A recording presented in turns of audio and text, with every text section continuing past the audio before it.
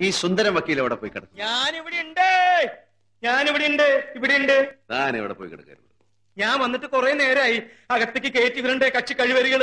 കൂട്ടത്തന്തയ്ക്ക് പറയാൻ മതി അറിയാനിട്ടല്ല ഞങ്ങൾ ഇറങ്ങുന്നു താനങ്ങ് വന്നേക്കേ. ആ. ആരായിരുന്നു വാദിഭാഗം വാദിച്ചത്? ഹരി സാർ കൃഷ്ണ സാർ പ്രതിഭാഗത്തായിരുന്നു. പോയിന്റ്സ് എല്ലാം കിട്ടിയിട്ടുണ്ടല്ലോ. ഒന്നും വിട്ടുപോയിട്ടില്ലല്ലോ. ഇല്ല.